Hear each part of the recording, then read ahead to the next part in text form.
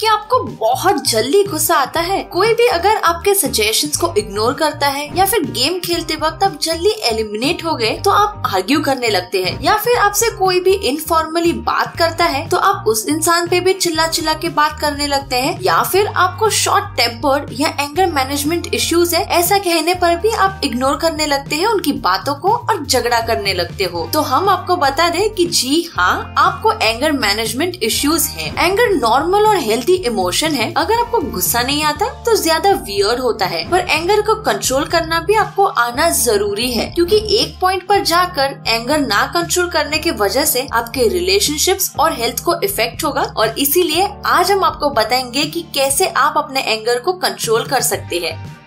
पर दोस्तों, अब शुरू करने से पहले हमारे चैनल से लेटेस्ट अपडेट पाने के लिए हमारी चैनल आज का गुरु को सब्सक्राइब करना ना भूले। Think before you speak situation के गर्माहट में कुछ भी बोल देना बहुत आसान होता है, पर उसके बाद उन बातों पर रिग्रेट करना बहुत हार्ड होता है और इसीलिए दो मिनट लीजिए कुछ भी बोलने से पहले और सोचा करें।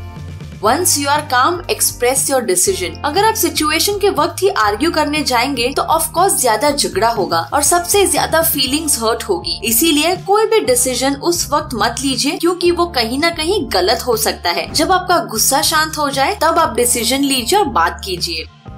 Get some exercise physical activity करने से आपका स्ट्रेस रिड्यूस होता है और इसीलिए आपका एंगर रेट भी कम हो जाएगा। अगर आपको लगा कि आपका एंगर एस्केलेट हो रहा है तो ब्रिस्क वॉक या फिर रनिंग करने चाहिए आप फ़िज़िकल एक्टिविटीज़ भी कर सकते हैं, जिसकी वजह से आपका माइंड डाइवर्ट हो जाएगा और आप रिफ्रेश हो जाओगे। Take a time out time out सिर्फ़ बच्चों के लिए नहीं है। अपने आप को शॉर्ट ब्रेक्स दीजिए दिन में। जब आप बहुत स्ट्रेसफुल हो जाते हैं, तब। इसीलिए टाइम आउट लेते रहिए।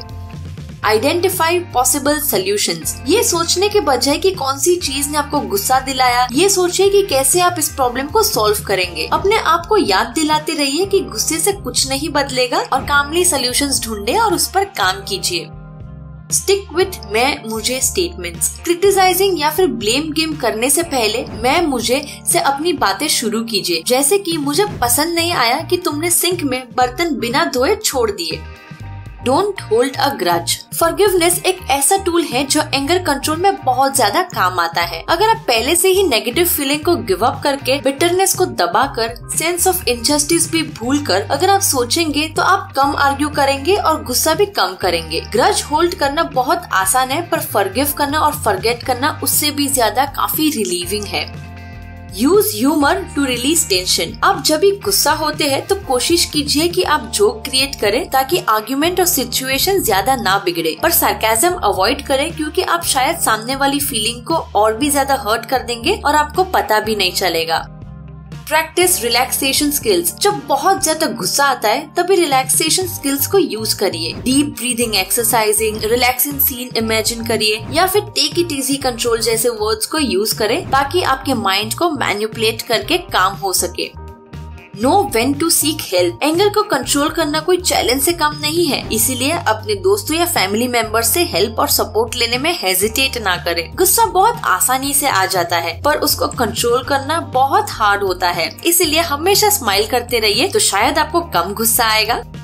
तो दोस्तों थे ना ये कुछ आसान टिप्स जिससे आप इजीली अपने एंगर को कंट्रोल कर सकते हो। तो एंगर मैनेजमेंट टिप्स से जुड़ी आपके पास और भी कुछ जानकारी है तो हमें कमेंट सेक्शन में ज़रूर लिखे। और अगर आपको ये हमारा वीडियो पसंद आया होगा तो इसे लाइक शेयर एंड कमेंट ज़रूर करें। और अगले वीडियो तक के लिए अलविदा दोस्तों, धन्यवाद।